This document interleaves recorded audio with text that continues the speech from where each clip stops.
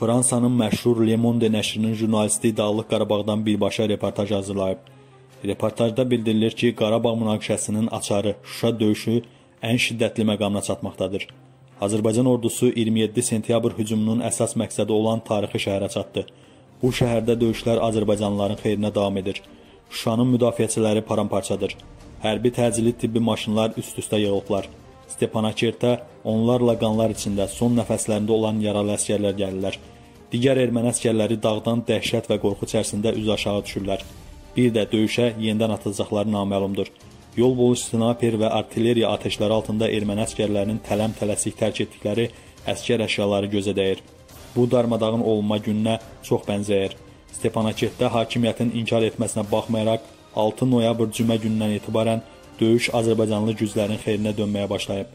Bir həftədir Azərbaycanlı güclər Şuşanın bir top atışı məsafəsində olan qapılarına dirəniblər. Əsas cəbhə Daşaltı kəndinin yuxarı meşələrində donub qalıb. Orada döyüşlər çox sərt şəkildə baş verib. 3 gün ərzində Azərbaycanlı xüsusi təyinatlı qüvvələr Şuşaya aparan yola şəhər müdafiəçilərinin gücünü yoxlamaq üçün gecə basqınlar ediblər. Məhz bu hücumlara görə Xankəndini İrəvana bağlayan əsas yol 4 noyabrdan etibarən bağlanıb.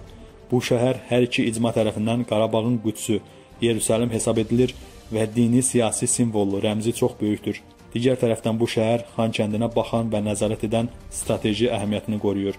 Azərbaycanlılar Şuşaya çatıblar. Küçələrdə Kalaşnikovlarla döyüşlər gedir. Bunu Xankəndində əlillər üçün arabada oturmaqdan imtina edən və ayağından yaralanan bağırmamaq üçün cənəsini tutmuş əskər deyir. Bu yaralı əskərin ətrafında xaos hökm sürür. Bu ərəfədə sırf güllə ilə yaralanmış 7 nəfəri gətirən yük maşını gəlir.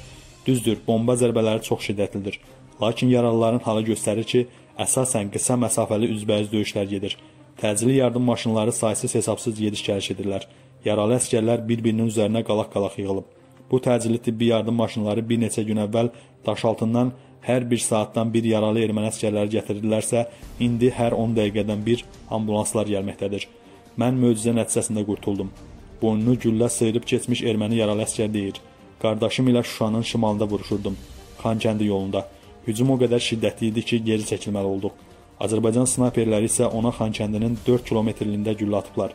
Bu isə ona işarədir ki, şiddətli bombalar altında inildəyən Xankəndi artıq Azərbaycan ordusunun hücumundan sığortalanmayıb. Xəstəxanaya gələn bəzi kişilər üçün müharibə artıq bitib. Onlar üçün yeganə çıxış yolu təcili cərrahi əməliyyatı olmaq üçün şimaldan olan yol ilə yəni Kəlbəcər İrəvana, Kəlbəcər yolundan İrəvana göndərilməlidir. Laçın yolu isə bağlıdır.